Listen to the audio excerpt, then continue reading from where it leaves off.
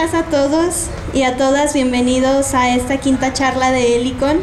En nombre de la Dirección General de Difusión y Vinculación y del Departamento de Difusión Cultural les damos la más cordial bienvenida y les agradecemos el tiempo brindado este fin de semana. Eh, bienvenidos a esta quinta charla que lleva como título La transición democrática procedimental en México. Recordarles las eh, la dinámica de las preguntas. Al ser un evento grabado, es necesario hacer uso del micrófono para que quede registrada su pregunta y que se pueda eh, responder. Además, recordarles que si se registraron por medio de nuestro correo electrónico o del teléfono, ya no es necesario anotar su nombre en las hojas de registro que estarán pasando más adelante.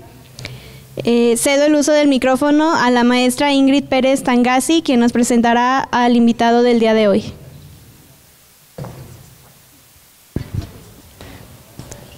Bueno, nuevamente sean todas y todos bienvenidos. El día de hoy eh, me da mucho gusto que nos acompañe y que haya aceptado nuestra invitación el maestro Ignacio Ruela Solvera, quien entre otras cosas se distingue por su sabiduría y experiencia. El maestro se graduó como ingeniero industrial en el Instituto Tecnológico de Aguascalientes, donde también cursó una especialidad en producción industrial. Cuenta con estudios de pedagogía y especialidades en Derecho Electoral y Filosofía por la Universidad Autónoma de Aguascalientes, una maestría en Filosofía por la Universidad del Valle de Atemajac y otra en Instituciones Políticas y Procesos Electorales en el entonces Instituto Federal Electoral. No contento con todo eso, también se licenció en Derecho por la Universidad Latinoamericana. Una de sus más importantes experiencias laborales llegó casi inmediatamente después de su titulación, ya que se desempeñó como secretario privado y luego particular del entonces gobernador de Aguascalientes, Rodolfo Landeros Gallegos.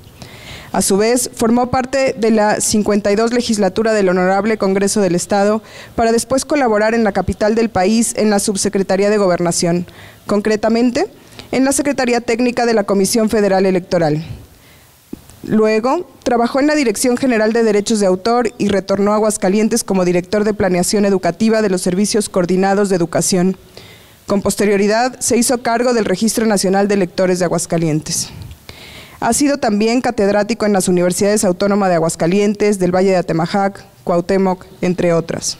Y principalmente hay que destacar que fue uno de los fundadores del Instituto Federal Electoral, actualmente Instituto Nacional Electoral, en el cual laboró por más de tres décadas distinguiéndose por su desempeño y excelencia en distintos cargos como vocal ejecutivo de la Junta Local Ejecutiva en el Estado de Aguascalientes, director ejecutivo del Servicio Profesional Electoral y director ejecutivo de Administración, entre otros. Bienvenido, maestro. Muchas gracias por estar aquí.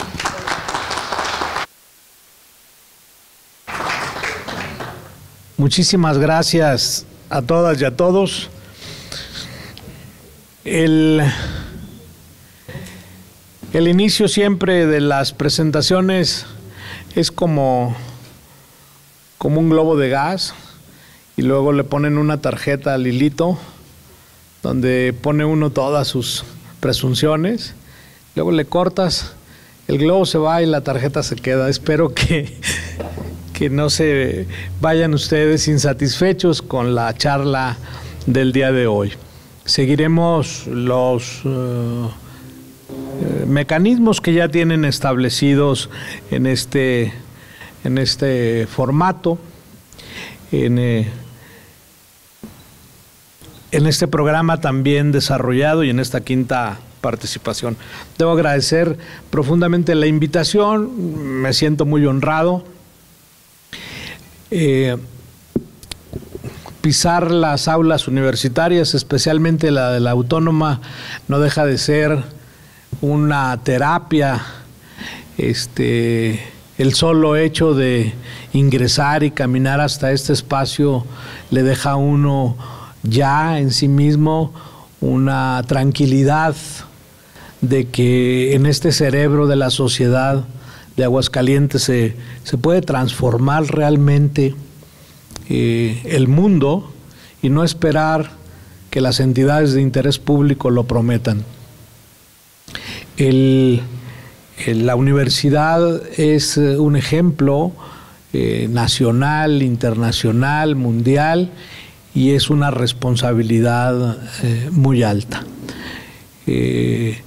En ese, en ese sentido, eh, el día de hoy quisiera comentar con ustedes este, este tema de la transición democrática procedimental, porque mucho hay una gran confusión en el sentido de que transitamos a la democracia. Y esto es una falsedad. Transitamos al procedimiento electoral y no hemos conquistado la democracia de calidad. Es decir, no hemos podido, en términos, en la gramática de Aguascalientes, no, puedo, no hemos podido hilvanar eh, y desilvanar cómo lograr una sociedad participativa, deliberativa, que pueda actuar en consecuencia para la construcción de una nueva sociedad democrática. Porque en el eje, en el eje está la democracia. La democracia está en el epicentro de la economía, está en el epicentro del desarrollo, está sostiene todas las actividades que la sociedad pueda eh, desarrollar. El, el tema del, procedimiento electoral, que es el que vamos a, tratar de explicar esta, mañana, es realmente muy lento de, de 1911 con la ley Madero hasta 2024. Es muy lento hasta 1977 y luego adquiere un impulso importante a partir de los 90, 89, en donde tuvimos hasta dos reformas electorales por año y nos quedamos en la de 2014. El, el tema de la en el que quiero partir es lo que yo llamaría la primera ley electoral de orden federal que nos auxilió en México el el modelo que vivía, un modelo ya monocolor, un solo partido, y funcionaba con una maquinaria propia del siglo XX de corporativismo,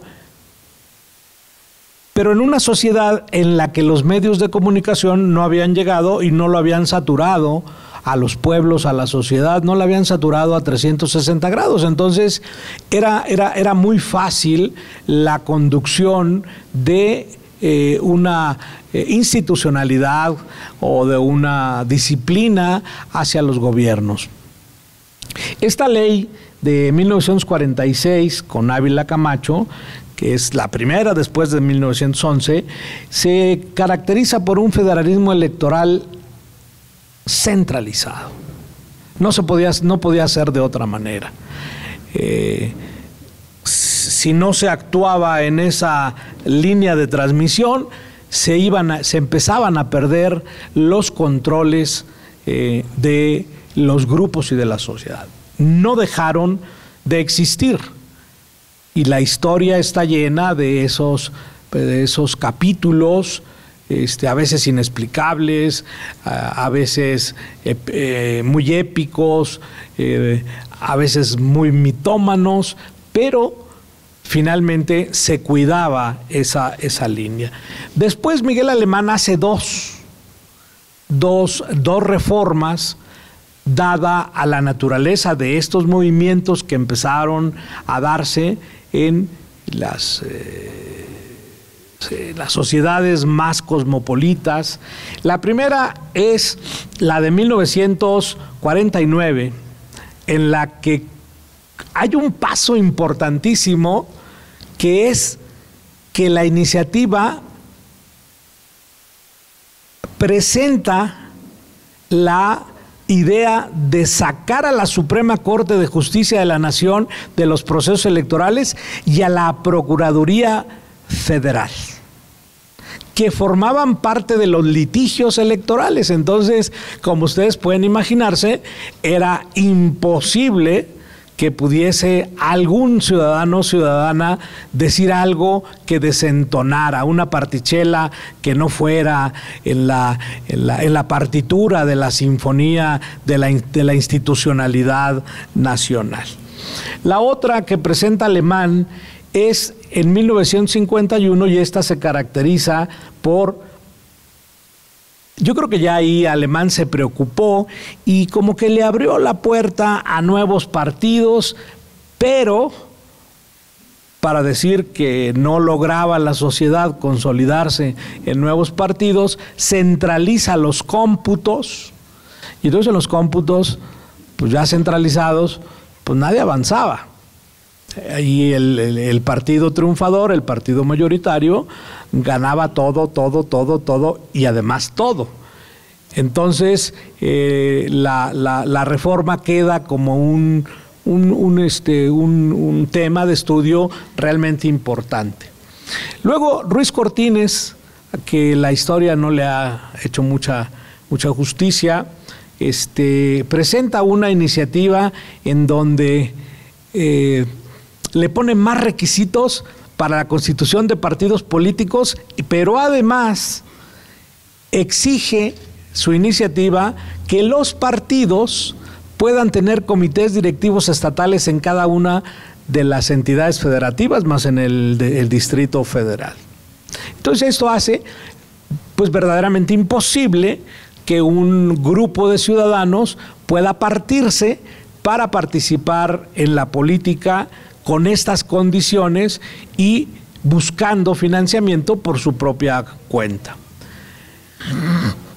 López Mateos, un poco más atrevido, hace, eh, presenta la iniciativa para crear diputados de partido y con una Cámara de 210 diputados, 200 de, 178 de mayoría y 32 de eh, de, partido, eh, como que da una colación para que las oposiciones al Partido Revolucionario Institucional puedan darse por satisfechos de lo que estaba ocurriendo en el acontecer político. Bueno, del 63 hasta el 77 no pasa nada. México es un país tranquilo, institucional, armónico, apolíneo. México le cierra las puertas a, este a, Dioniso, a Dionisos y, se mantiene muy estable. ¿Quién, quién, quién prende la mecha? La mecha la prende un hombre de gran talento Jesús Reyes Heroles. Reyes Heroles lleva la representación del presidente de la República al informe del gobernador de Guerrero y en Chilpancingo hace un discurso en 77 en el que le avisa a su partido, al, al PRI, que el modelo político ya se había agotado y que era el momento de hacer una apertura en la que pudiera consolidarse un nuevo modelo político para este país. Obviamente, los cacicazgos, los, los líderes ideologizados, la estructura y la maquinaria del PRI que era perfecta, este, como la clasificó eh, el Premio Nobel de Literatura. Evidentemente que no le hicieron caso y lo mandaron al churro.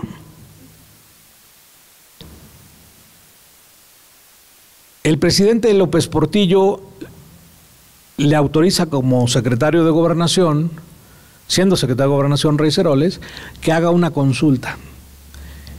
Y es la consulta más importante de la historia hasta ahorita.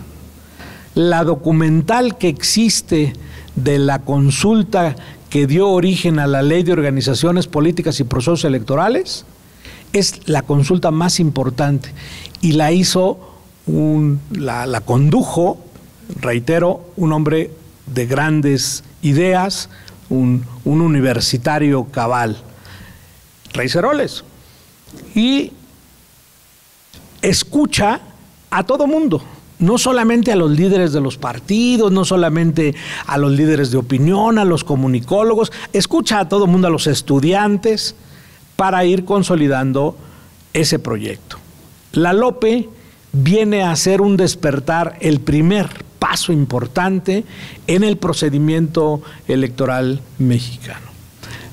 tardaron años en que se pudiera dar este, la concreción de estas actividades.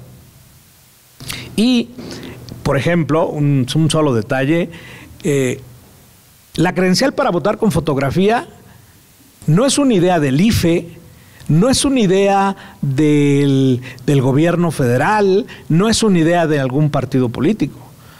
La credencial, en un 80% de como la conocemos el día de hoy, es una propuesta que hizo Jorge Crucihan, siendo senador del Partido Popular Socialista, en la gran consulta de Reyes Heroles.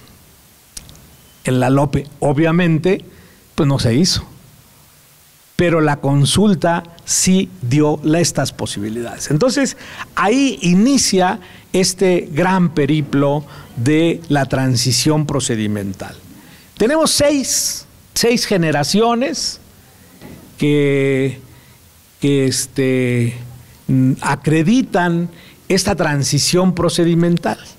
Esta de 1976, que es la ley de organizaciones políticas y procesos electorales. Aquí se sintetiza pues este esfuerzo en donde hay una más pluralidad en la Cámara de los Diputados, en donde existen nuevas posibilidades de diálogo y este pero no dura mucho porque para la una segunda generación en 1986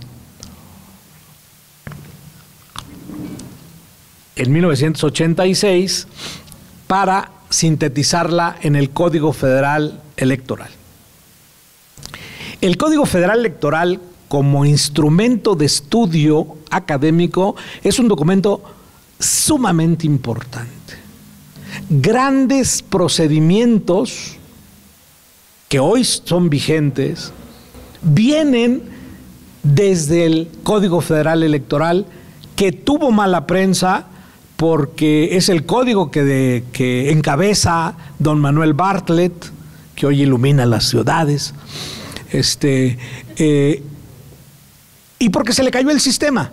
Y entonces, la, la, Lope no sirvió, no, pero trae grandes cosas. Voy a citar solamente una que es esencial.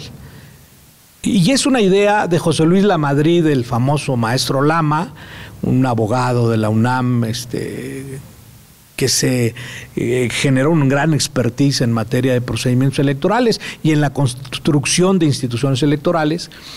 Y eh, el código contiene, y llegó para quedarse, que la mesa directiva de casilla colocará al exterior a manera de estrados, al exterior de la casilla, coloca los resultados de las elecciones los votos recibidos, los votos nulos, los votos por cada fuerza política, por cada candidato, etcétera, etcétera, y lo suscribe el presidente y el secretario. Cuando se notifica el fraude de 88, a todo el mundo se le olvidó el cartel de las casillas. Y nos peleamos porque Diego Fernández de Ceballos autorizó que las quemaran y bla, bla, bla. Esa, esa historia épica pero se nos olvidaron los carteles. Al grado, al grado tal que los estudiosos del derecho le han dado validez jurídica. Los tribunales le han dado validez jurídica. Esos, esos carteles, hoy día, hoy día, de 24, trabajan una hora antes de que las actas lleguen a los consejos y estos sean subidos a internet. Es decir, quienes votan en una casilla saben una hora antes cuál es el resultado de esa casilla. Lo he recordado ahorita aquí en los corrillos. el sistema de resultados electorales preliminares nace en Aguascalientes y nace en, en Radio Universidad. Porque aprovechando los carteles, invitan a la sociedad a no había celulares, ¿eh? a tomar nota de los resultados y transmitirlos. Pusieron cinco teléfonos y en esos cinco teléfonos, antes de las diez y media, tenían el, 60, el 87% de los resultados de la elección de 94. Es decir, ese cartel tiene un valor fundamental y este, en esta elección debe de tenerlo también. Una tercera generación es el Código Federal Electoral, su síntesis, y es la de 1990 la que crea el Instituto Federal Electoral con un nuevo procedimiento, pero todavía ligado a la autoridad gubernamental. El secretario de Gobernación era el presidente del Consejo General del Instituto Federal Electoral. Ha habido buenos y ha habido que no son tan buenos pero eh, vale la pena recordar este, que eh, fue el Instituto Federal Electoral el que dio el primer paso de esta transición democrática. La cuarta generación es la generación que conserva el COFIPE, pero le otorga autonomía a quien administra las elecciones. En una entrevista que le hacen a Fernández de Ceballos, él confiesa que años atrás los partidos políticos le piden al secretario de gobernación que ya salga el gobierno de los órganos electorales. No, la Secretaría de Gobernación les pide a los partidos que ya este, la administración de los eh, procesos electorales sea ciudadana y los partidos no quisieron lo reconoce Diego Fernández y dice, no quisimos. Fue hasta 1996 cuando logramos entendernos y salió el secretario de gobernación y se nombró un consejo de ciudadanía en el que el que inició este nuevo formato fue José Waldenberg. La quinta generación, la de 2008, conserva el COFIPE, pero crea un nuevo modelo de comunicación política que este, vale la pena revisarlo, lo, lo vamos a revisar ahorita. Y la generación que estamos viviendo, la sexta generación, la generación de la reforma de 2014, es la que crea la Ley General de Instituciones y Procedimientos Electorales, junto con otras seis leyes en las que se genera un Estado de transición democrática procedimental en el que va incluido por primera vez en México una ley general de partidos políticos. Es decir, el legislador transitó el sistema de partidos a un estado de partidos.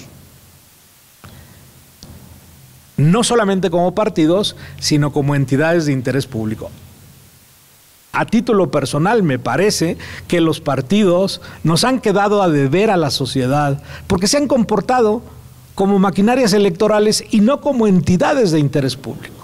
Están involucradas constitucionalmente para la construcción de ciudadanía, para empoderar la convivencia, para hacer una vida compartida más deseable.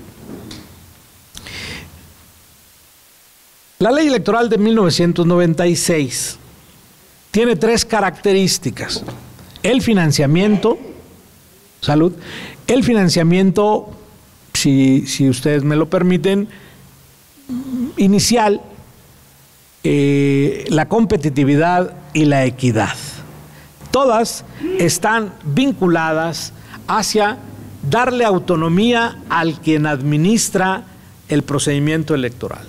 Entonces, el Consejo General del Instituto federal Electoral ya no depende de la Secretaría de Gobernación y ahora toma, toma acuerdos por sí mismo para poder desarrollar todos los subproductos o los subprocesos que intervienen en la organización de un proceso electoral que garantice que los grandes procesos se están respetando conforme a lo, dice, a lo que dice la norma.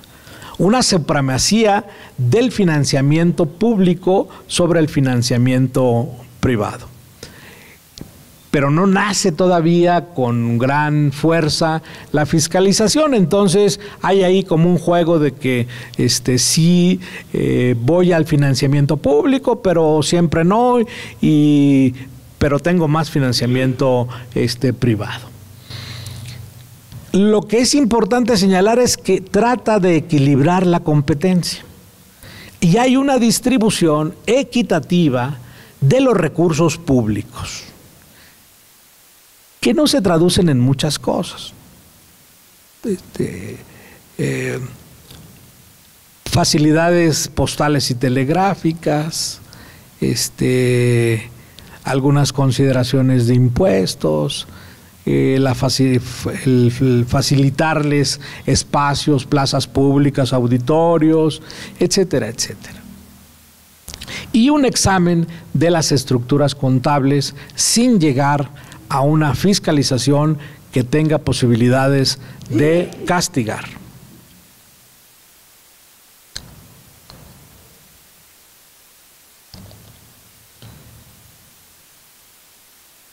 Entonces, en síntesis, hay una consolidación del administrador del, proceso electoral, del sistema de partidos, que se hace abierto y competitivo.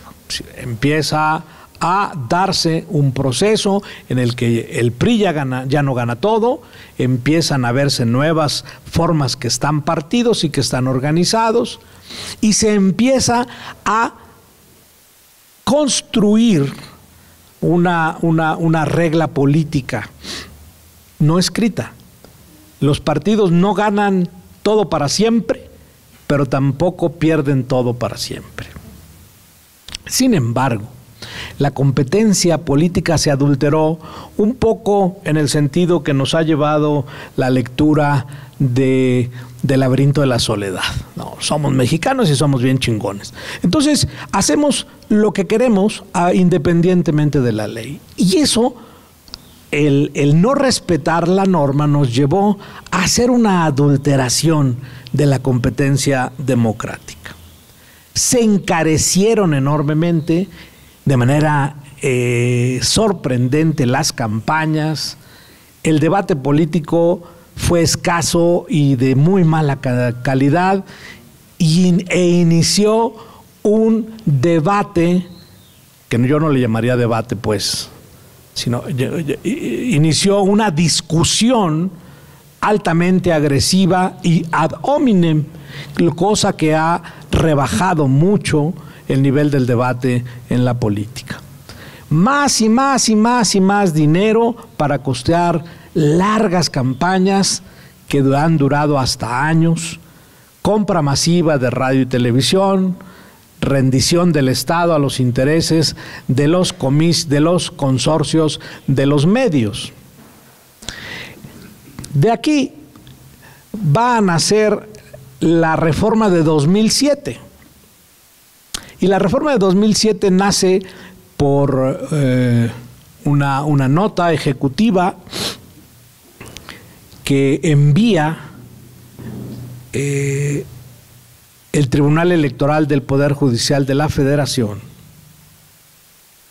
a la Cámara de Diputados, en donde sostiene que se, se deberá de conformar un nuevo régimen comunicativo, una nueva comunicación política en nuestro país.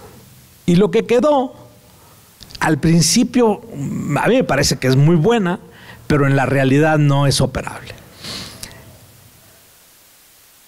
Todo el tiempo de radio y televisión será a cero pesos, cero centavos y la distribución de los tiempos de radio y televisión se hará de conformidad a un 30% paritario a, todas las, a todos los partidos políticos y un 70% a el nivel de fuerza política.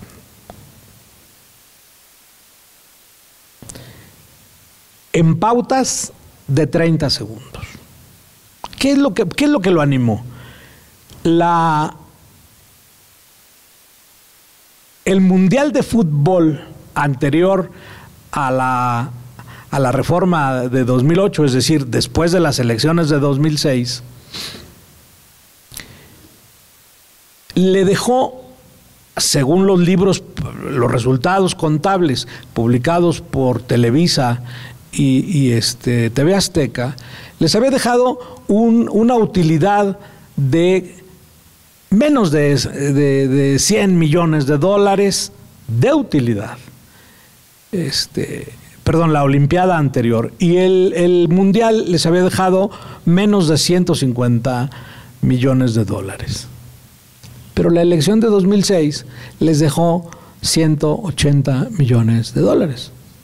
Entonces, el, el juzgador creyó conveniente cambiar este sistema de comunicación política.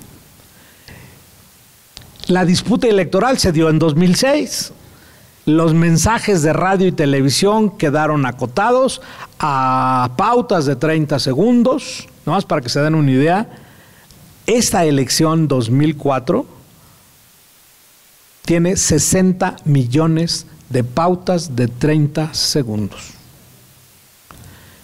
Las empresas han logrado hacer comunicación en 30 segundos a partir de frases cortas, de imágenes este, emotivas y logran vender. Pero los partidos políticos y los candidatos no han podido, no han podido lograr una comunicación en 30 segundos. Una incapacidad. Pero también hay que decir que también habría que reformar la ley para que no se diga este, este, eh, este, este, este, este, esta pauta está dedicada solamente a todos los otros, las representantes. Les quita segundos. Pero de cualquier manera no salen en otra forma. Pero sigo con el laberinto de la soledad. Entonces, ¿qué pasa?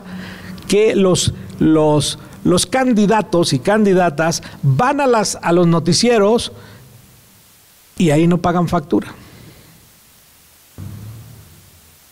Y entonces se convierte en una falta de equidad. Este escándalo político del, del, gran pleito que se da y que hay un gran desgaste en la sociedad por estarse peleando si, si, el partido del rombo es mejor, si el partido del cuadrado es mejor, si el partido del rombo le mentó la madre al partido del cuadrado. Es decir, eso es innecesario. Nos tienen eh, angustiadamente vinculados a otras formas de vida. Esa gravitación mediática sobre la formación de la representación política y la frase más desafortunada que generó el nuevo modelo de comunicación, que es Sí, pero pase usted a la caja. Primero pase usted a la caja. Ese era realmente cómo se había trabajado. La reforma de 2008 realmente está hecha con una gran, muy meticulosa, está hecha con un espíritu constitucionalista, tiene grandes elementos, prohibir la compra de promocionales por parte de los partidos políticos es un gran avance. La contención legítima y legal de los, de los, de los poderes de hecho, es decir, pues que ya el poder económico no sea quien va distinguiendo las candidaturas. Pues sí, pero se arregla uno y salta otro. Ahora el tema es que los traviesos del narcotráfico ahora son el poder que empezaron comprando candidatos y ahora compran gobiernos completos. Eso no tiene ninguna, este, eh, no es necesario ni siquiera comprobarlo porque se ve hechos son amores y no buenas razones. Hemos visto eh, eh, eh, pautas de, que se han transmitido, que se han filtrado, no, no, no trascendidos, de autoridades que están dialogando con cabezas de narcotraficantes. Entonces fue una auténtica reforma de Estado, la, la reforma de 2008. Pero el legislador se ha quedado atrás México necesita un legislador más ágil, que vaya actualizando rápidamente todos los acontecimientos y los vaya poniendo en orden. No se puede. Bueno, sí se puede, pero no lo han hecho porque eh, no se puede ser legislador de un partido y no legislador de la nación. Hay que ser legislador del pueblo y olvidar el ser legislador de partido para poder compartir las angustias, las necesidades, el proyecto y la esperanza de los pueblos. ¿Cuáles son las, ¿Cuál es la, la finalidad, la teología de esta reforma? Tiene tres ejes. Disminuir en forma significativa los gastos de campaña de las elecciones, fortalecer atribuciones y facultades de las autoridades electorales y un nuevo modelo de comunicación política. Es decir, aquí hay un espíritu de que consolidó eh, de manera muy grata para la nación una moral pública que, por un lado, de manera subjetiva, nos permite cumplir con el deber por un acto de voluntad, es decir, la moralidad, la calidad de lo moral. Y por otro lado, de manera objetiva, la obediencia que como ciudadanas y ciudadanos tenemos a la ley, a esa ley que nos obliga a todos, fijada en normas, en leyes y también en buenas costumbres. Es decir, un principio de legalidad que se honre desde la ciudadanía. El nuevo modelo de comunicación implica que los noticieros y programas noticiosos respeten la ética misma de ellos, es decir, que respeten el derecho que existe a la vida privada en la medida que ésta no tenga implicaciones con el interés público. Pero no lo hacen. Que respeten el derecho de réplica. Bueno, el derecho de réplica en México y en Aguascalientes ha sido por mandato judicial. Tiene que ser un juez el que determine que tiene derecho el derecho de réplica. Es decir, el concesionario sigue siendo dueño del micrófono, único y señor de ese universo hertziano. Este nuevo modelo de competencia política abarató las campañas, instituyó un formato rígido, predeterminado, de competencia mediática. Es cierto, los 30 segundos no han sido suficientes para construir un mensaje de unidad, de... Eh, de búsqueda de simpatía, de propuesta, de convocatoria a la unidad y a una vida compartida agradable. Cerró las posibilidades de que los organismos o individuos que no forman parte de los partidos compren publicidad y propaganda. La celebración de los debates dejaron de ser una excepción y se convierten en un expediente obligatorio. Sigo con el laberinto de la soledad. Pero los debates se han convertido en un reality show. Porque el debate, el debate es la vida cotidiana.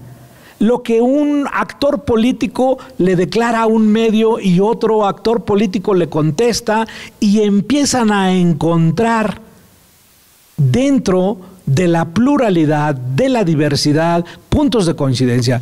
La democracia, incluso el propio Papa Francisco lo ha dicho, es saber escuchar.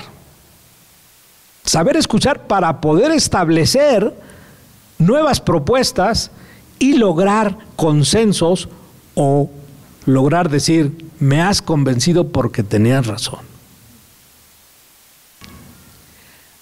Ahora los debates están condicionados a un espacio en donde se estudia la posibilidad de que uno no esté más grande que otro, que la lámpara, que el atril, este... Y luego, pues, para basurearse mutuamente. Ese es, ese es el, el, el, el reality show, ¿no? Para basurearse, este, y tú cuando andabas allá, este, este, en la, cuando eras estudiante universitario vendías gelatinas. Esos son, esos son los debates que quedaron. Hay que releer, y esta es una sugerencia respetuosa, hay que releer El laberinto de la soledad. Es, es un libro sensacional que no pierde este, vigencia. Los servidores públicos y medios de comunicación deberán preservar el principio de equidad. El artículo 134 y el 41 de la Constitución, bueno, lo dije al revés, el artículo 41 y el 134 de la CPU le ordena a los gobernantes no hacer propaganda de sus políticas públicas. La contradicción es en que el 134 se lo pide permanentemente y el 41 le dice olímpicamente al no deberás hacer propaganda desde el inicio de la campaña hasta que las mesas directivas de casilla logren terminar su cómputo y su escrutinio y su cómputo. Pero el 134 le dice todo el tiempo. Entonces, ¿qué es lo que pasa? Que las propias normas, incluida la constitucional, va generando eh, gobernantes eh, que están enamorados de sí mismos. Les gusta la primera plana, este, aparecen en todas las notas, son el ajonjolí de todos los moles, este, y bueno, pues les molesta mucho lo que hoy llaman la veda. Pues no hay veda. ¿Cuál veda? Pues es una orden constitucional. Lo que le exige la Constitución en el 41 y en el 134 es que la sociedad esté informada. Es decir, aquí está construyéndose un puente, por lo tanto tiene usted que rodear. Entonces, no poner la carita, no poner el eslogan, no poner la fotografía y decirle, señor ciudadano, esta es la ruta que usted debe de seguir. Pero no lo hacemos así. Aparece la imagen, aparece el eslogan, etcétera, etcétera. Los colores, ¿sí?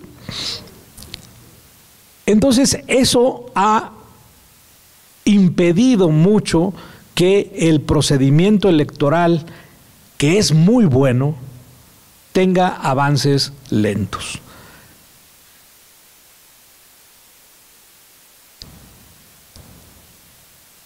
La reforma que vivimos actualmente tiene cambios significativos en el sistema político electoral.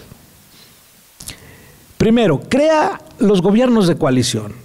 Le permite al presidente de la República poder establecerlos en cualquier momento a partir de que tenga un convenio con partidos políticos y el gabinete sea sancionado por el Congreso de la Unión. Así lo establece 74, 76 y 89 de nuestra Carta Magna. Hay una reelección legislativa, tanto para senadores como para diputados federales, también para, para presidentes municipales, también para diputados locales, presidentes, regidores y síndicos, y para diputados locales, dependiendo de la, de la constitución política de los, del estado que corresponda. Cada estado tiene diferente formato lo que quedó ya establecido a partir de la armonización que desde 2008 se vino haciendo es que las elecciones ya no sean todos los años. Miren, Aguascalientes tuvo elecciones antes del 21, bueno, tuvo cuatro, más el 21 y el 22. Solamente el 23 no tuvo elección. Ahora ya están armonizados ya habrá elección cada tres años. Si es que no hay una legislatura que vuelva a hacerles mala canchoncha. Ahora el primer domingo de junio es el día de la elección, tratándose de presidenciales, y eh, el primero de octubre la toma de protesta. Por otro lado, las autoridades electorales les modificó su estructura y la distribución de facultades y aquí nace un asunto mucho muy importante, algo que parecía que no se iba a dar, el Sistema Nacional de Elecciones. ¿Qué es el Sistema Nacional de Elecciones? Es organizar las elecciones a partir de una responsabilidad nacional y una responsabilidad local. El Instituto Nacional Electoral tiene una facultad constitucional en el artículo 41 constitucional para poder participar en el Sistema Nacional de Elecciones y colaborar con las instituciones electorales de cada una de las entidades federativas. Ese es el sistema nacional de elecciones. Se pretendió con ello eh, disminuir el costo, eh, hacerlo más expedito, eh, que sean elecciones mucho más este, ciudadanas, etcétera, etcétera, y esto le ha generado un, buen ambiente. Y no, no ha habido hasta el momento una crítica en contrario. El Instituto Nacional Electoral este año organizará la elección 340. De esas 340 elecciones, en los últimos 33 años, de esas 340 elecciones, el 70% se ha dado con alternancia. Y de ese 100 de ese 70%, el ochenta y tantos por ciento los ha ganado Morena. Esa es la realidad el discurso de la mañanera es un discurso denostativo contra las instituciones. Y el único patrimonio que el pueblo de México tiene, que la sociedad mexicana tiene, son sus instituciones.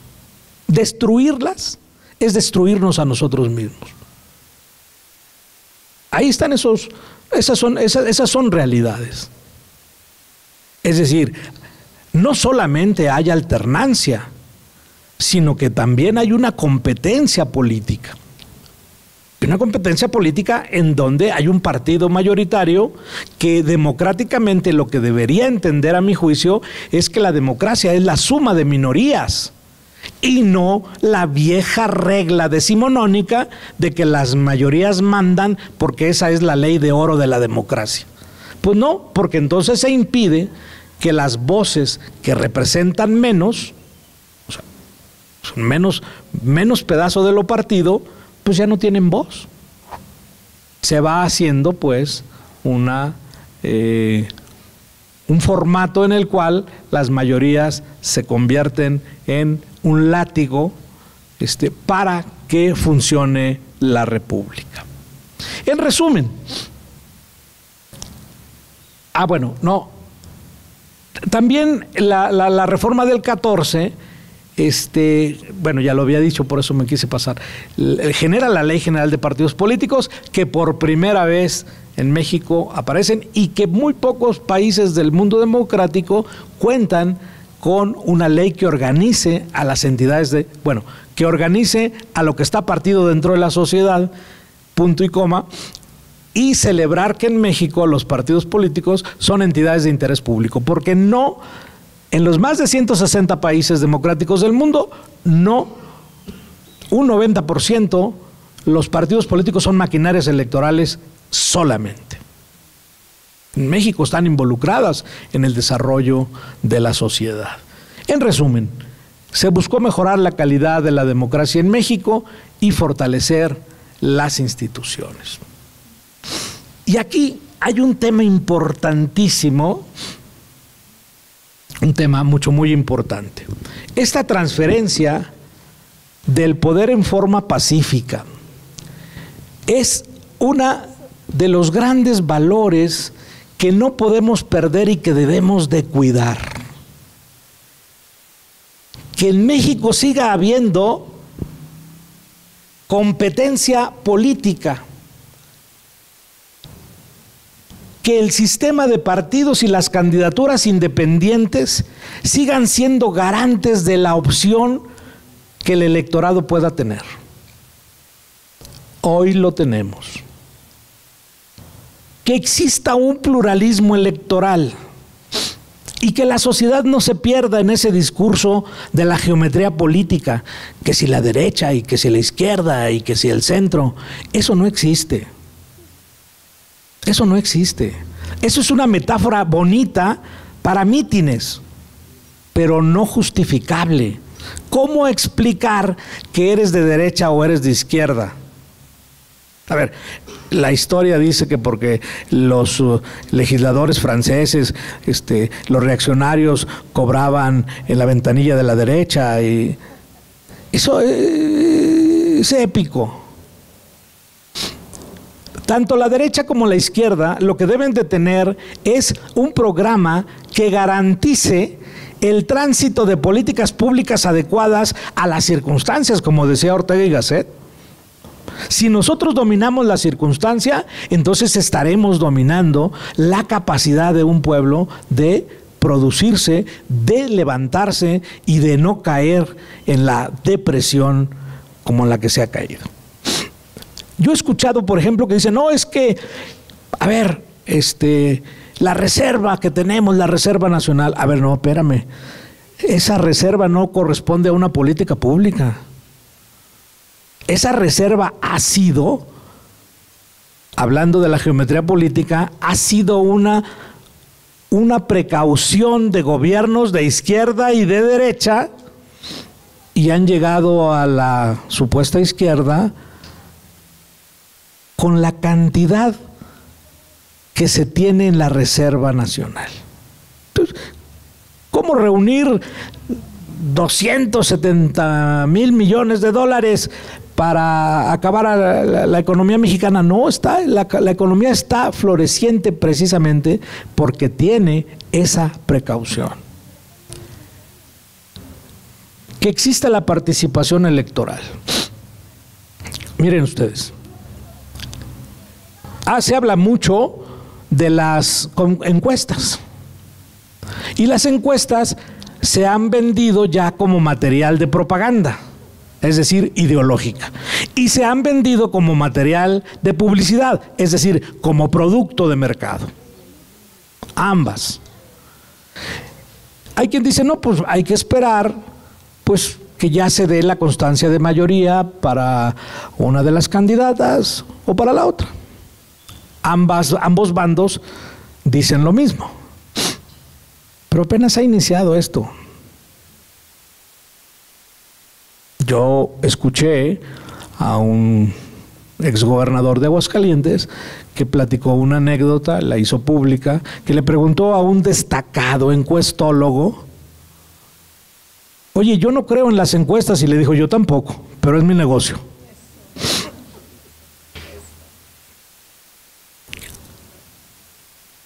Les voy a dar un dato, sí duro. El único dato duro que tenemos de la participación electoral es el de eh, federalmente del 21. Votó el 53%, un 47% de abstención. De ese 53%, y esto no es una plática de consigna, son, son datos que están públicos, de ese 53%, Morena obtuvo el 13.3% de los votos como partido. El Partido Verde, el, Partido Verde más casi el 4% y el Partido del Trabajo 1.1. Juntos sumaron 17 punto y tantos por ciento, es decir, del 53%, 8 de cada 10 mexicanas y mexicanos le dijeron no a Morena y 6 de cada 10 le dijeron no a la coalición. Esos son datos duros. Pero vamos más todavía. No, los jóvenes no votan. Del 47% de abstención, entre los 18 y los 44 años, si me pasé del 30, de los 39 al, 40, al 44 años, el 60% tuvo más, el, el 60% de 25 a 44 se abstuvo. Es decir, de 18 a 24 sí votaron. El, el, grupo etario más estable es el de 65 y más. ¿Sí? Esos son datos duros. ¿Cómo los vas a remontar con propaganda y con publicidad? Es como decir, tú cállate sociedad porque eres muy babosa. El basureo político ya no se puede permitir. Y el cuarto valor que nos distingue, que el planteamiento de inconformidades en México se hace por la vía legal. Sí, el, el tema mediático ese es otro tema y se pone bien chido. Pero al final del día tiene que ser en los tribunales donde se resuelva. Pero no sé si se han fijado, las campañas inician cuando los candidatos, los partidos o los dirigentes de los partidos empiezan a decir se va a judicializar la campaña, se va a judicializar la elección. Qué bueno. La democracia no se explica sin jueces. Son los que dan la garantía de el triunfo o la derrota. La justicia electoral la dan los tribunales, porque son los que hacen y evalúan las pruebas que se presentan en las controversias.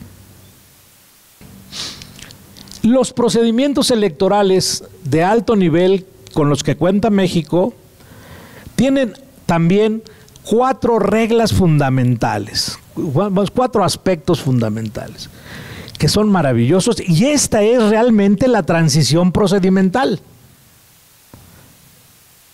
Fueron producto del diálogo político, es decir, después de la caída del sistema, los partidos dijeron, ah caray, se nos está yendo México entre las manos, como el agua entre los dedos. Tenemos que dialogar, tenemos que encontrar una solución.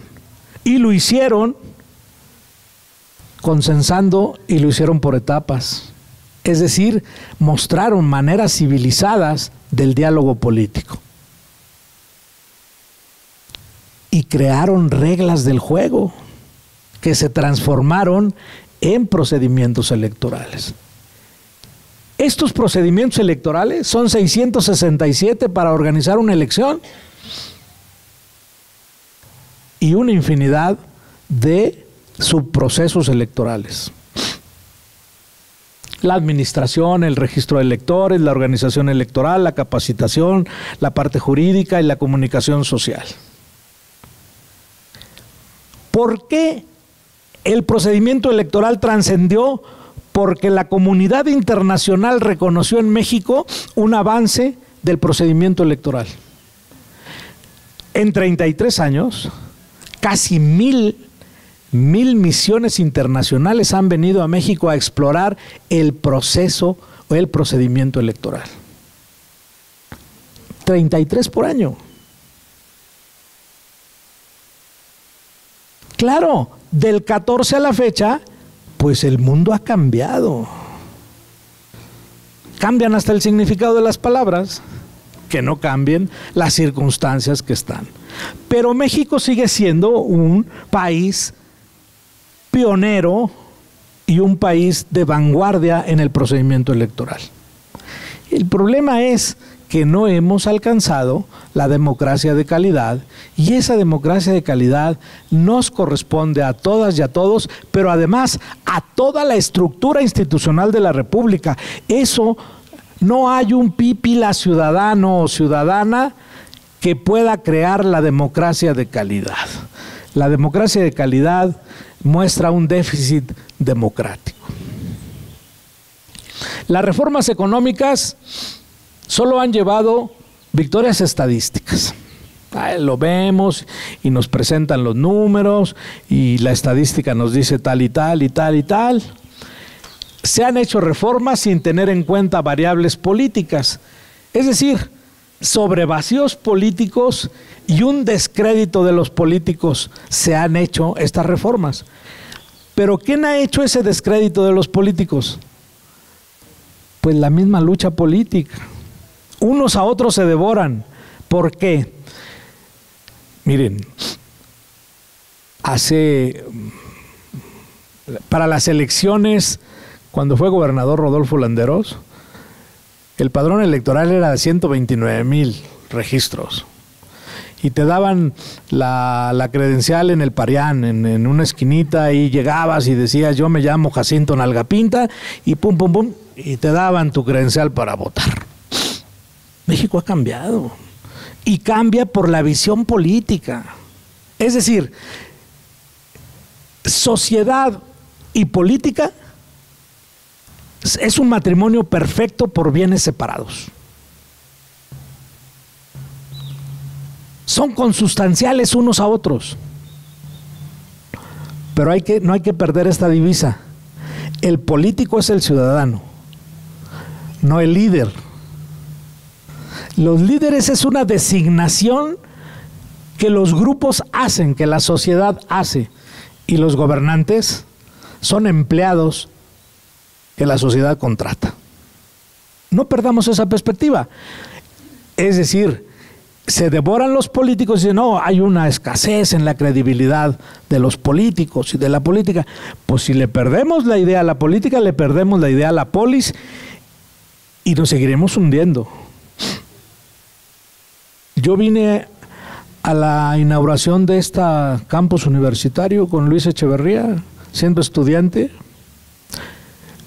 Pues no es esto. Esto es una maravilla. Es decir, hay una evolución. Y eso se debe a la conducción política de las instituciones. No lo perdamos de vista. Las reformas han sido cortoplacistas, fragmentarias, y a lo que quiero llegar es que la autonomía que solo brinda un Estado democrático fuerte. Esa libertad y esa autonomía es la que el ciudadano debe ejercer para que no ocurra esto que es muy, muy, muy, muy, pero muy ordinario. ¿Sí? Los operadores políticos hacen esto, pero les voy a confesar algo más grave. Los operadores políticos, cuando ven que hay una colonia o una sección electoral que está ganada por el candidato del rombo, esto no lo entregan. Se lo quedan. Eh, y eso ha generado nuevos ricos. La, democracia tiene condiciones técnicas y, también lo divido en cuatro. Uno, la eficiencia entre el Estado y el mercado. No podemos. O sea, por más que diga la izquierda, y no, no estoy denostando a la izquierda, yo admiro a Adolfo Sánchez Vázquez, a los trasterrados, a Gaos, pero no puedo no puedo admirar a quien dice que soy de izquierda y cobro con la derecha.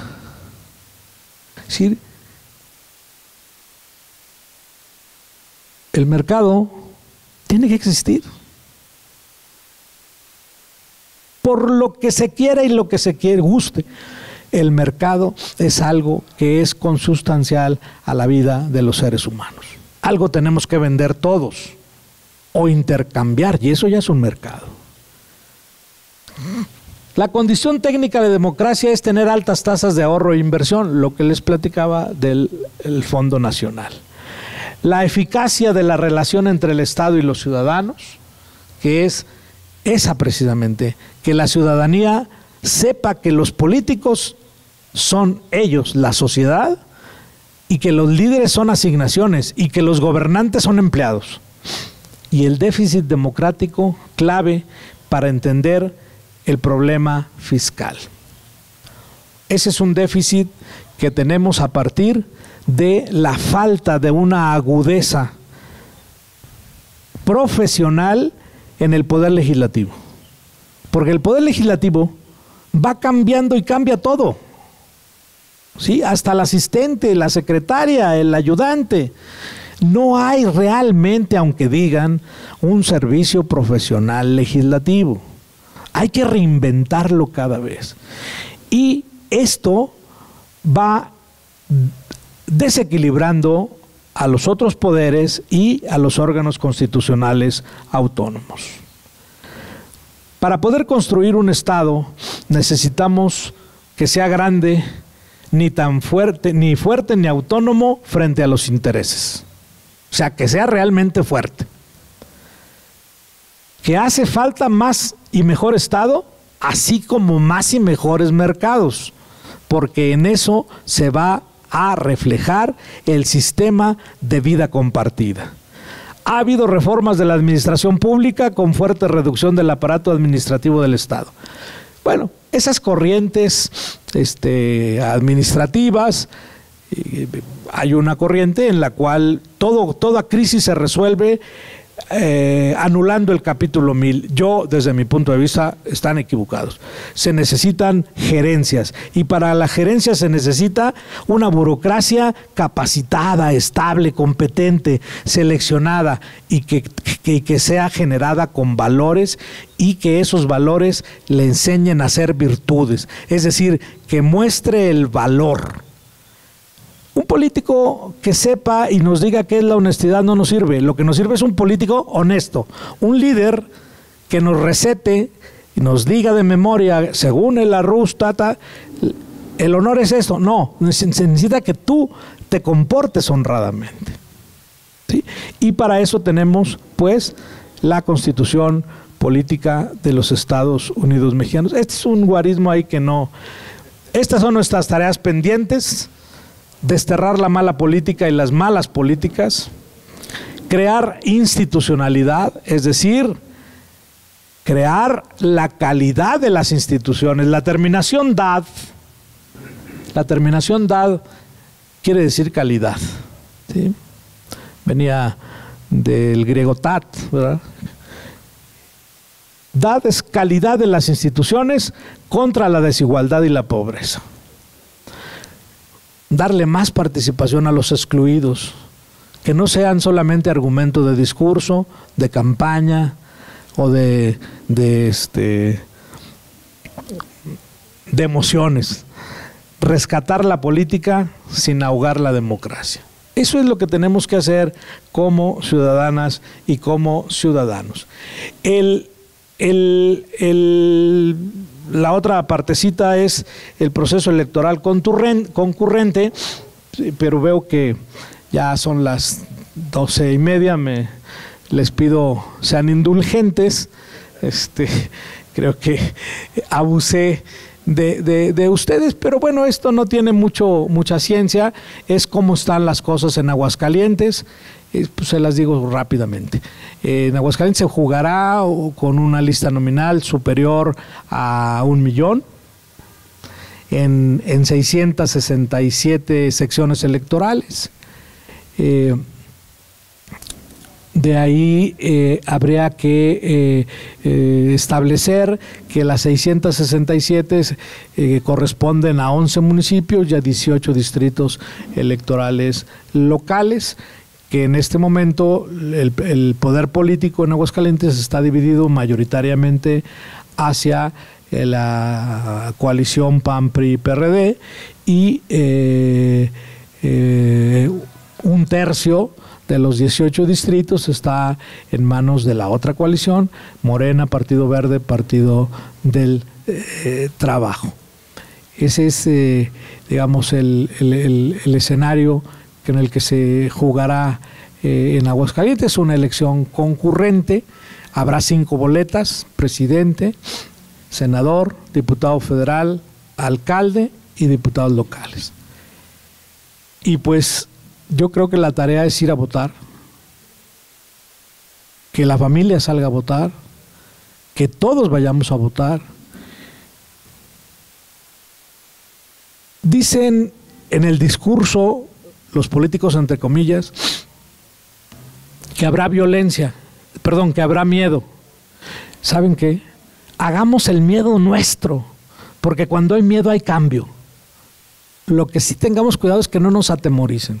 Miren, y la lógica es del procedimiento electoral. La casilla está cerca de tu domicilio. Díganme si no. No atiende más de 750 electores.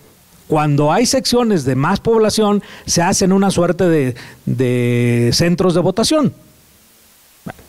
Entonces, la autoridad electoral son nuestros vecinos que conocemos.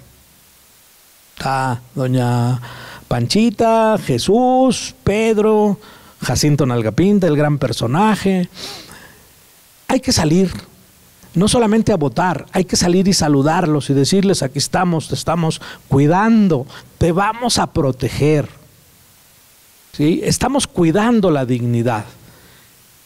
Y ya que todo el mundo tiene celulares, saquémosle fotografías al cartel para que a nadie se le ocurra hacer travesuras. Eso es importante para que quienes van a hacer que el voto cuente, que se cuente bien. Les doy, les doy un dato.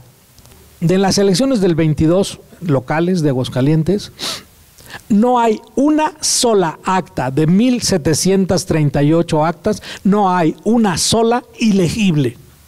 No hay una sola en donde la sumatoria esté mal. Todas las controversias que presentaron los partidos políticos y candidatos no tuvieron la suficiente prueba ante los tribunales, ante la contundencia de las actas que organizaron las elecciones. Y termino con esto. El INE solamente administra el procedimiento electoral. Quien hace las elecciones es la ciudadanía. Muchas gracias y eh, estoy a la orden.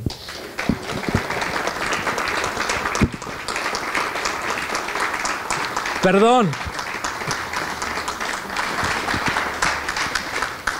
Continuamos con la sesión de preguntas, de comentarios. Si pueden levantar la mano y en un momento los compañeros pasan a, otorgarles el micrófono. Muchas gracias.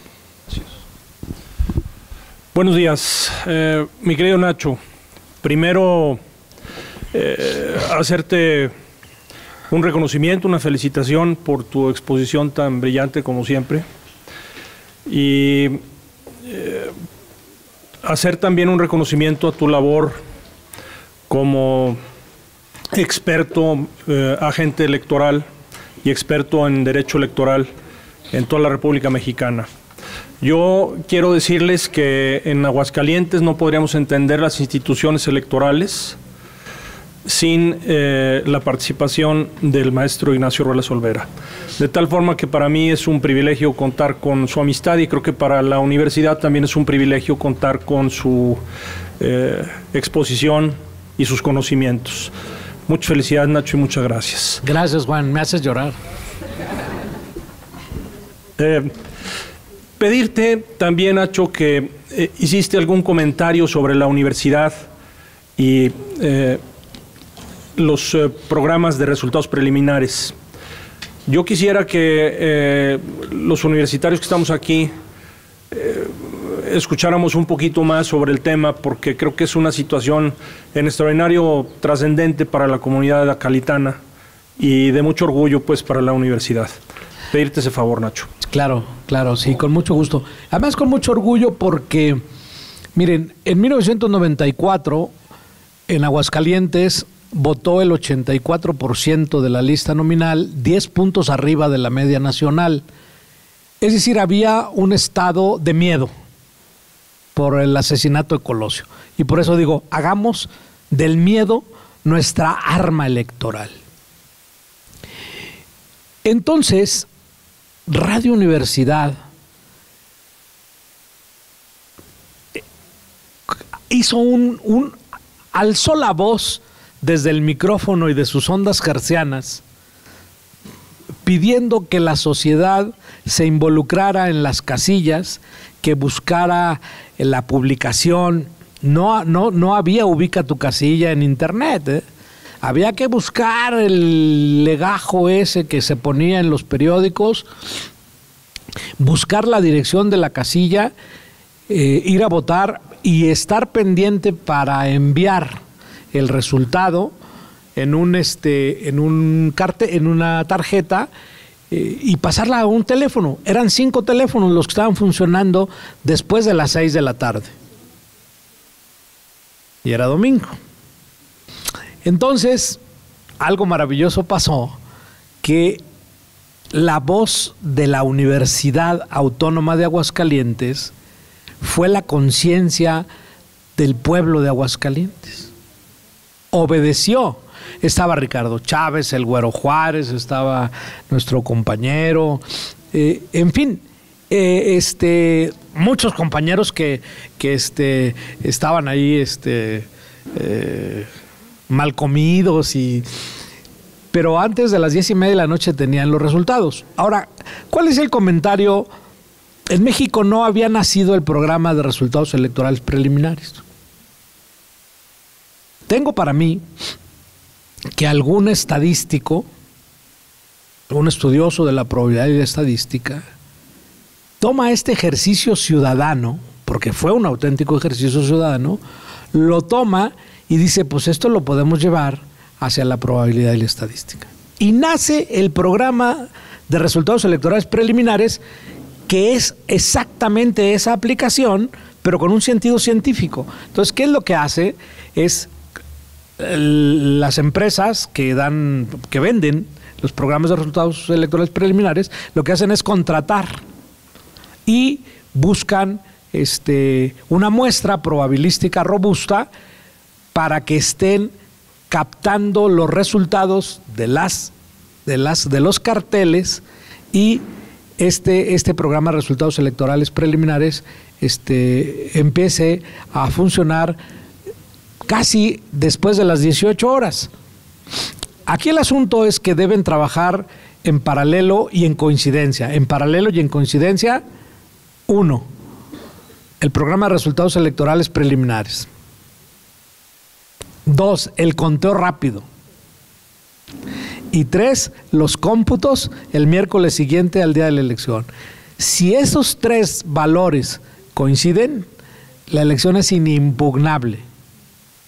Y yo creo que hay un mérito, no es el primer foro donde lo digo, pero hay un mérito que debe de reconocerse a la Universidad Autónoma en este eh, eh, esta acción este, ciudadana este, que logró impactar a una sociedad que en domingo sí le obedeció a los micrófonos y voces de Radio Universidad. Bueno, así como otras cosas, ¿eh? No, el, el tema de Radio Universidad es, a mí sí me impacta cómo eh, antes de las diez y media había, si mal no recuerdo, el 87% de los resultados. Yo ya sabía quién había sacado el primer lugar, el segundo, cuántos votos nulos, este, qué participación había. Ya tenían datos ya que eran inconmovibles estadísticamente.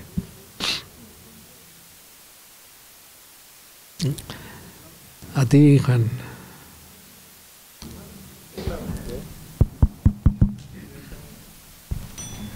Eh, ¿Qué tal, maestro? Buenos días, tardes. Este, muy interesante. Voy a dividir mi pregunta en tres, tres fases. Número uno, eh, preguntarles sobre realmente la idea de democracia en un ámbito ya ideológico, casi casi. En su opinión, que realmente, creo que al principio sí lo dejó claro, lo deja como en un sentido casi utópico. La pregunta es si realmente usted cree o tiene el conocimiento que ha existido un sistema realmente democrático. Me voy desde los cazadores recolectores, cuando éramos, estábamos cazando y recolectando, vaya la redundancia. Ni siquiera ahí había una democracia, creo totalmente totalitaria, si puede llamarse así. Número dos, sobre los sistemas, eh, los sistemas, las instituciones. Me llamó la atención, con todo respeto, cómo eh, usó, una, usó, una, retórica casi del príncipe Héctor de, Troya, de, sobre defenderlas casi. Eh, claro que yo estoy a favor de las instituciones, 100%. Eh, que se destruyan es algo, es, retroceder en el sistema, pero yo creo que es importante reconocer que también son corruptibles. Es peligroso pensar que son totalmente perfectas y que no son como, son inmutables. Ese es el peligro, creo yo. Eh, su opinión. Y por último, sobre todo el sistema democrático, que sabemos que ha avanzado muchísimo entre reformas, entre protestas, hay más derechos, X o Y. En su opinión, ¿cree que todas estas reformas han impulsado más que nada hasta una aristocracia o realmente está beneficiando para que todos tengan una voz? Entiendo que usted este es partidario de que todos tengan voz, ya sea izquierda, derecha, yo también, 100%, pero no sé, quiero su opinión sobre si realmente todo esto, este proceso tan bonito, tan, tan brillante, tan pomposo, tan caro del mundo, está realmente influyendo en que haya personas que tengan oportunidades diferentes. Gracias. Sí, claro, gracias a ti. Bueno, en primer término, yo lo que reconozco que hay es una transición democrática en el procedimiento. Eso me queda muy claro, lo, lo traté de explicar no hemos logrado una democracia de calidad. Eso es algo que nos corresponde a todos. eh, creo que debe ser una política pública expresa con un liderazgo nacional que deba de constituir en eh, desarrollar todas las currículas necesarias para que eh, las personas del campo y de la calle, el ciudadano de a pie, pueda integrarse a una vida eh, que vaya hacia la conquista de las virtudes, que se muestre diferente, que sea, eh, como lo dijera el, Papa Juan Pablo II en su última visita a México cuando estuvo en el aeropuerto, ¿no? Este, dio su discurso final y dijo que convocaba a México a una metanoia, que decir que México tuviera una nueva actitud, en una nueva mentalidad. Esa democracia de calidad no ha llegado y todos los días se nos resbala entre las manos. Este eh, no crean que yo fui la víctima, pero lo platico, ¿no? Este está un persona, una persona eh, está este, parada frente a un este, semáforo, este hombre, y atrás está una dama, este, y al, al poner el, el, el SIGA, pues como que se le apagó el coche, ¿no? Entonces batalló tres segundos en prenderlo y le pitó la compañerita de atrás siete veces le hizo ta, ta, ta, ta, ta, sí, ta, ta. Yo iba en tercer lugar. Y entonces me di cuenta que esa agresividad era innecesaria, pero lo que más me sorprendió es ver que en la cenefa decía Dios te ama y traía colgado en el retrovisor un rosario y traía un signo de pez por ahí en, el, vidrio de atrás. Esa vida compartida es la decadencia democrática. La, democracia estaba metida en todo y si, si, si, que, si quisiéramos poner una, un puntal, pues habría que decir que ese liderazgo le correspondería, por ejemplo, a la, a la Secretaría de Educación Pública y a los institutos culturales del país. Sí, el, yo creo que las instituciones son el único patrimonio y coincido contigo. Quizá no, no lo expresé completo. Son perfectibles. Este, se tienen que ir actualizando. El devenir es tan rápido que a veces no nos da tiempo ni de, ni de cerrar los ojos. Eh, por ejemplo, en, términos electorales, se empezó a hablar de la urna electrónica, Ingrid lo sabe, este, y, de un año a otro la, la, urna que pretendimos que era ya la conquista, al siguiente año nos, se nos quedó como algo tan primitivo, pues así pasa con las instituciones, dependen, son entramados de normas y esas normas deben de estar bien vinculadas conectadas en, este, en directo con el Poder Legislativo. Y ese Poder Legislativo, desde mi punto de vista, tiene un déficit este, en todos los órdenes, estatal, nacional, Congreso de la Unión. Este, necesitamos un, un, Poder Legislativo que esté en, en la circunstancia del siglo XXI, que, que haya trascendido la modernidad, que haya trascendido la posmodernidad, que esté trabajando ya nuevos formatos de convivencia, porque la norma es la que nos, nos garantiza este, la existencia social. Y eh, la tercera pregunta es que el sistema eh, aristocrático de, que ha generado eh, la reforma Sí, sí. El laberinto de la soledad es así. Este. Hay siempre quien agandalla uno a otro. El, el tema, por ejemplo, del financiamiento público ha creado una aristocracia, en donde los partidos más votados se llevan el 70 más un pedacito del 30. ¿Sí? Eso es una aristocracia este, en la cual tienen más capacidad de gasto, tienen más capacidad de... Ahora, dinero llama dinero, dice la filosofía popular, y ese es el peligro. Porque, porque el, el, el que tiene más dinero gasta más y tiene más necesidad, y entonces eso va generando que, que, la puerta se va abriendo, se va abriendo y se va abriendo hacia el dinero negro a la política. Todas las elecciones presidenciales en este país han tenido una media aritmética de 2.500 millones de dólares. No lo digo yo, lo dice el Banco de México en su, en su boletín de los días previos a una elección de flujos de dinero irregular.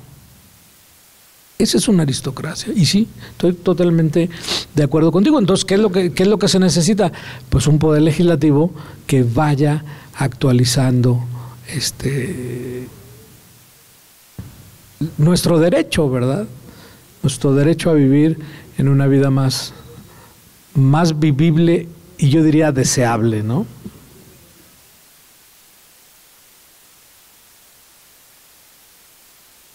Una, sí escucha, eh, una felicitación a mi querido maestro Ruelas, que no solamente es maestro en Derecho Electoral, sino también maestro en Filosofía. Y eso lleva también a que esta exposición de la democracia procedimental tenga un extra, tenga un plus, que no son solamente los datos duros, justamente como se ha mencionado de manera muy clara, muy organizada, sino también porque hay una conjunción de la ética con la política, del etos, la, la demanda de que tenemos que ser ciudadanos, debemos ser ciudadanos para salir adelante, implica también una ética. Entonces, este etos político está ahí llamándonos de una manera continua y se ve como una necesidad que si no respondemos cada uno de nosotros, pues no lo podremos alcanzar. Y el, otro punto que lleva a darle calidad a estos datos es la unión de la teoría con la práctica. ¿no? La praxis siempre no podemos quedarnos en los puros datos, en los puros planes, sino hay que gestionarlos y hay que llevarlos a la práctica y eso también es tarea de todos. Este, muchas felicidades por la exposición y también por esta, esta visión que amplía esta visión y que pues eh, somos testigos de que eh, ha generado desde Aguascalientes muchas iniciativas para que esto pueda ser posible, ¿no? Desde eh, el trabajo en la jornada a través del suplemento de péndulo 21, en algún momento fue un elemento para crear conciencia ciudadana en, nuestro estado y muchas otras iniciativas en las que tuve la fortuna de participar, como en el caso de algunos diálogos y coloquios con Woldenberg, con algunos consejeros nacionales que vinieron a Aguascalientes a nutrir y a formar a quienes en algún tiempo formamos parte de los consejos en nuestro estado. Muchas felicidades, Nacho. Muchas gracias, Enrique. Este, tengo que confesar que fue mi maestro de hermenéutica y de ética, entonces, este, muchísimas gracias.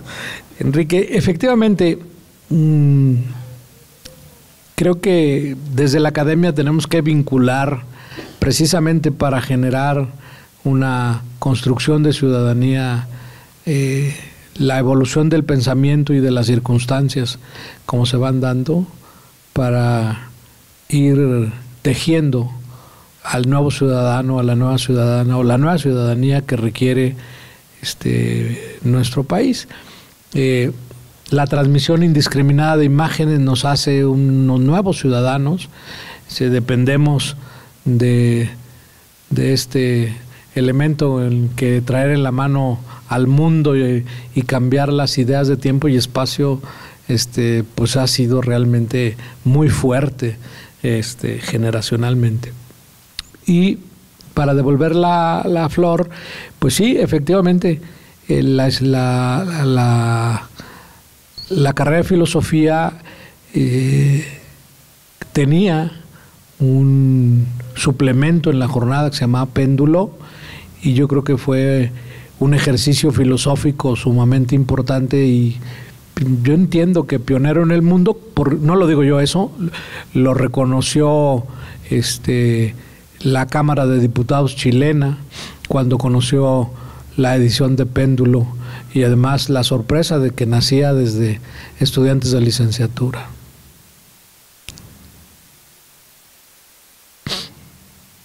Mm, sí, se escucha. Ay, qué lindos. Eh, gracias allá a nuestro maestro allá en la primera generación en población, en la maestría.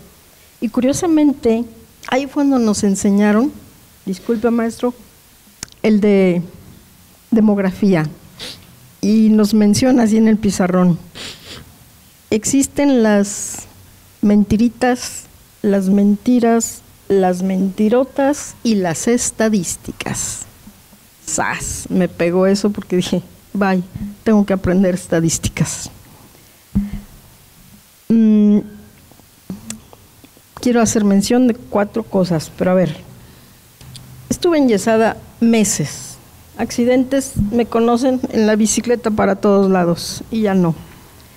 Pero amigos, biólogos, urbanistas, arquitectos me decían, no, Marce, ya no te vas a volver a subir a la bicicleta. ¿Por qué? ¿Qué está pasando en la ciudad?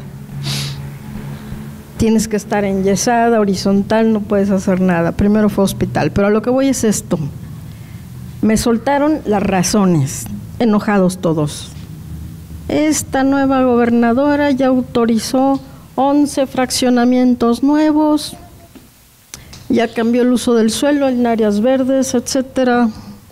Y tengo y estoy haciendo correcciones de unas revistas y todas con faltas de ortografía. Y efectivamente, el índice del asunto inmobiliario está gruesísimo. Yo preguntaba, ¿y el agua? Tuve que hacer mis análisis porque encerrada y sin salir a la ciudad, hacía reminiscencia cómo se inició Las Vegas.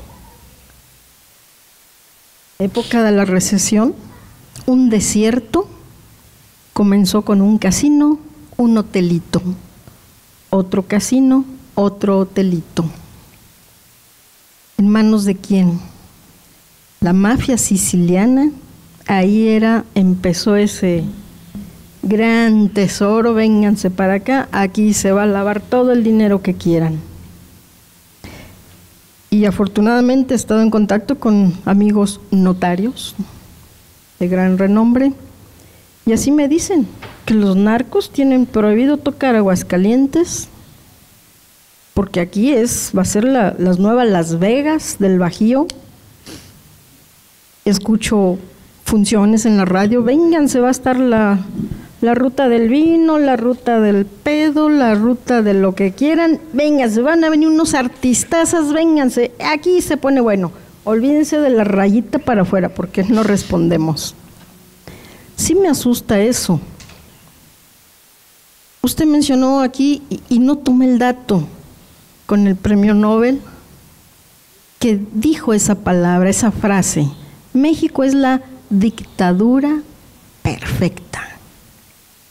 Lo mencionó maestro, ¿cuántas décadas atrás fue eso?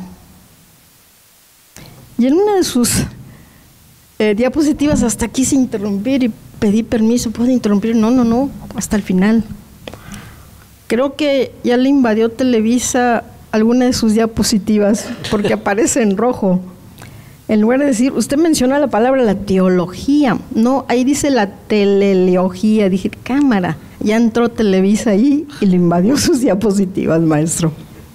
Gracias por esta audición que nos ha dado usted y gracias a mis maestros. Tengo mucho de no haber salido y apenas me estoy moviendo.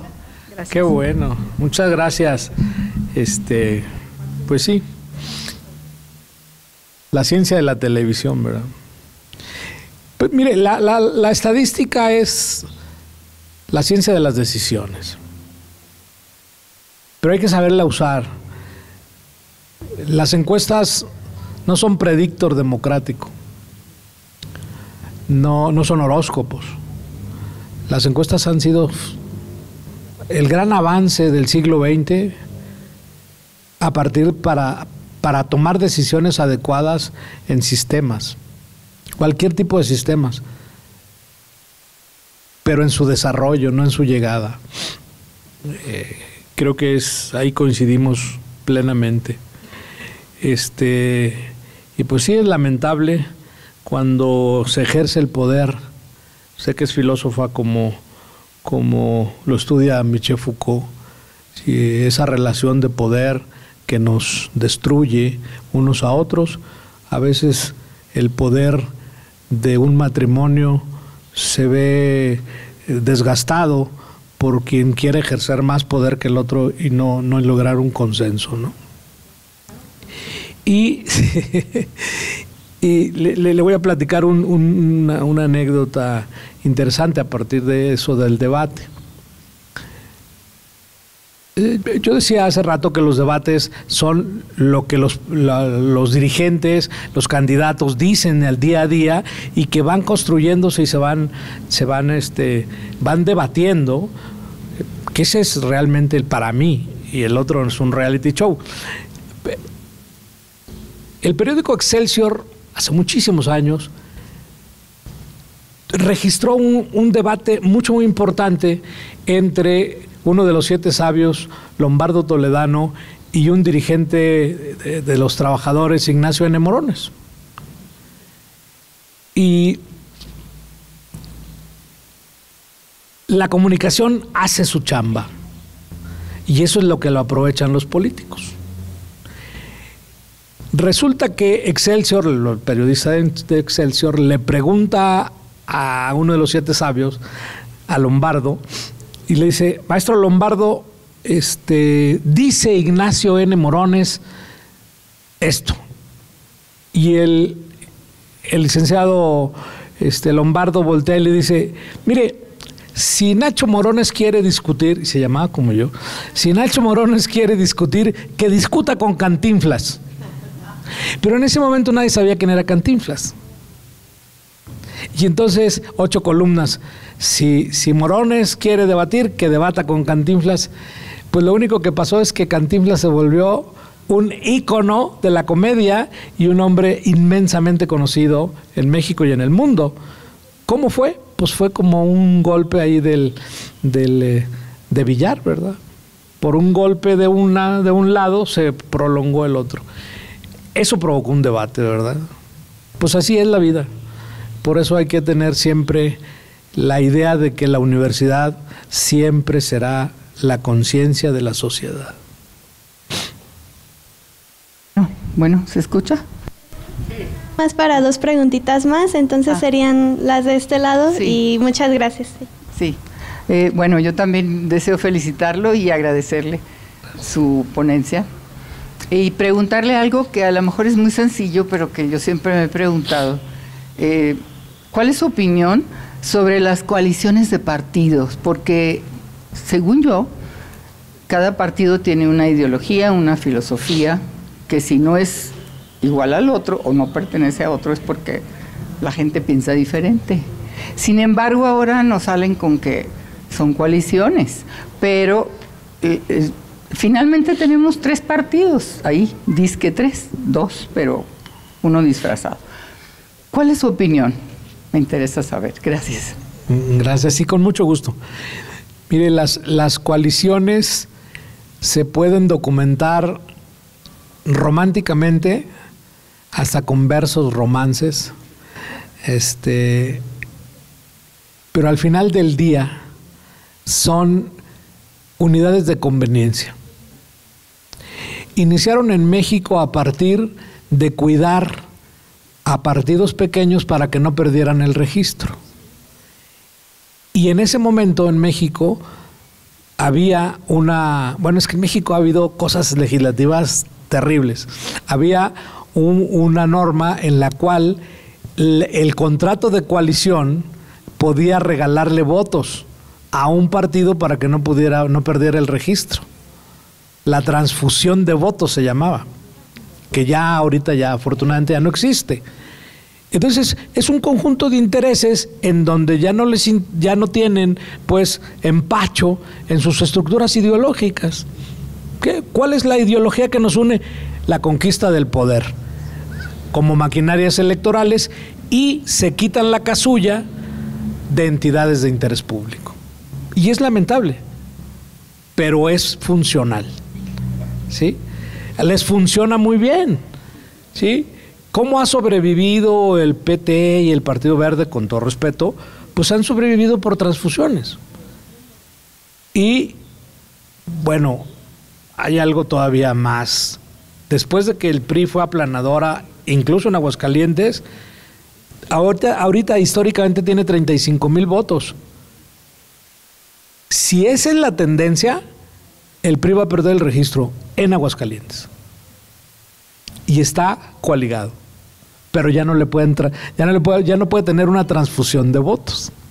Entonces, bueno, no se resolvió, pero se va resolviendo. pues así es, o sea, me río porque es la realidad. Buenas tardes. Gracias. Muchas felicidades. Eh, mencionó en su conferencia que realmente los partidos políticos nos han quedado de ver. Yo creo que en general las instituciones nos han quedado de ver a los ciudadanos en la formación, tanto de líderes políticos como de ciudadanos involucrados en la política. Realmente hay todavía mucha ignorancia, siento. Una muestra de ello es que mucha gente salió a las calles a defender el INE, pero sin tener una realidad concreta de lo que estaban defendiendo. Mucho se ha hablado de la reforma que pretendió imponer este gobierno, pero realmente se conoció poco de lo que los alcances. Entonces yo creo que las instituciones como la universidad y desde, como lo mencionó también usted, tiene la obligación el, vamos a decir, del ciudadano común desde la familia y no, no nada más las instituciones educativas, formar líderes que tengan ética y moral. Porque realmente, por ejemplo, líderes de que nosotros votamos, como la senadora que aquí votamos por un partido, al poco tiempo cambió y tuvo realmente la desfachatez hasta de hablar mal del partido que la eligió. Pero no la eligió el partido, la elegimos los ciudadanos. Y esa es una laguna que tiene la ley. ¿Cómo es posible que los líderes salten y le vuelvan la espalda al que la llevó? Y la que queremos que nos esté representando, ahora está representando a otra persona que ni siquiera votó por ella. Bueno, eh, uno de los déficits de las entidades de interés público es que no tienen escuela de cuadros. Y lo menciono porque el financiamiento público les adjudica dinero para formación ciudadana y formación de cuadros. Se los hace corresponsables de construcción de ciudadanía. Cuando eh, digo que los partidos políticos nos han quedado de ver, me refiero, eh, digamos, en este año 24, van a recibir 10.370 millones de pesos de financiamiento que son impuestos del colectivo. Puede ser mucho o puede ser poco, comparado con qué. Si lo comparamos con el presupuesto federal, pues va a ser tres centavos por cada 500 pesos. Y entonces decimos, pues realmente no nos cuestan si, costaran un peso, era, era igual de pedir esa transparencia y esa rendición de cuentas. Porque en su calidad de entidades de interés público, les otorga dinero como maquinarias electorales, pero también les otorga dinero para pagar a su burocracia, a su gerencia, y les otorga dinero para la construcción de ciudadanía y formación de cuadros, para la formación política. Entonces, es el Estado el que está pagando esa circunstancia, no es, no es lo que está partido solo. los partidos políticos eh, en México solamente pueden recibir el 5% aproximadamente de, eh, por la vía privada, eh, que aparece en libros, pues. ¿sí? Lo otro, pues ya será, ya lo veremos, ¿verdad? Gracias. Pues muchísimas gracias, eh, maestro Ignacio Ruela Solvera, por esta plática tan interesante, por hacernos pensar en la democracia y que si en verdad tenemos democracia en este país. Eh, le agradezco nuevamente su participación en este espacio universitario de reflexión y cedo el uso del micrófono al doctor Ismael Manuel Rodríguez Herrera, director general de difusión y vinculación. Gracias.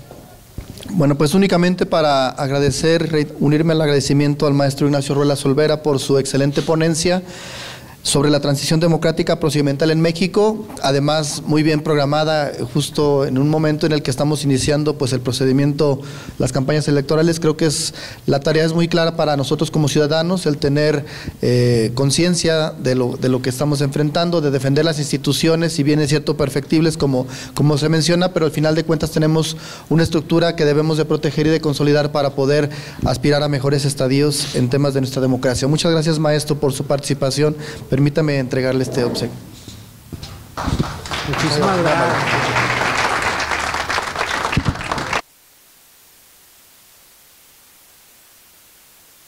gracias. Gracias a todos ustedes por acompañarnos. Muchísimas gracias, de veras, me siento muy honrado. Este, les agradezco su paciencia, su generosidad. Este, y voy a terminar este, aquí con mi compañero de, de que sí es un reto que la norma se actualice. Hay un bando de, gobierno municipal en Aguascalientes vigente que dice que los servidores públicos en, en masculino deberán presentarse de traje oscuro y sombrero.